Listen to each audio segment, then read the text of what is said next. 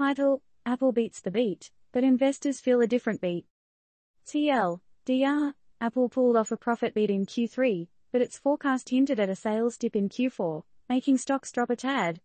Despite the iPhone's underwhelming sales, services and China markets helped even out the balance. But, the big question, with a possible fourth consecutive sales slump in sight, where's Apple headed? Apple, the tech titan known for the iconic iPhone and its impressive lineup of gadgets, gave investors a bit of a roller coaster ride recently.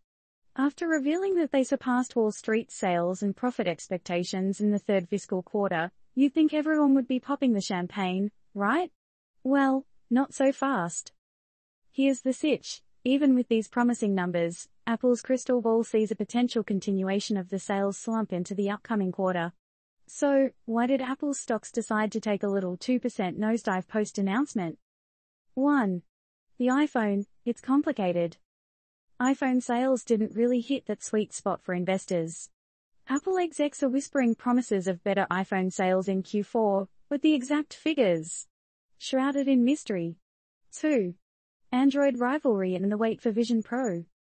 Apple's iPhone is locking horns with Android contenders in a market that's kinda saturated.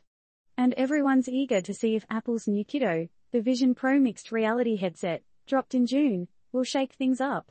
Still, it's like waiting for a sequel to your fave movie, we just haven't gotten our popcorn ready hands on it yet. 3.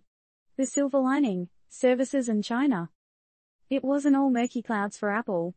Their services segment, which includes gems like Apple TV Plus, and an 8% sales growth in China acted like the comforting friend who brings you ice cream after a breakup. By the numbers. Sales for Q3, down by 1.4%, totaling $81.8 billion.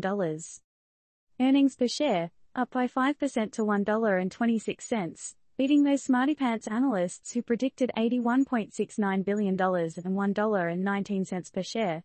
What's next? Apple's CFO, Luca Maestri, hinted that Q4 might echo the sales dip vibe from Thursday's announcement. This leaves us, and probably many of you, scratching our heads.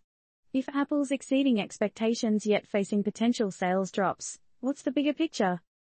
And here's our wrap-up thought for you. With constant innovation and tech evolution, is Apple's sales slump just a brief hiccup or an indicator of shifting consumer priorities question mark or? Discuss.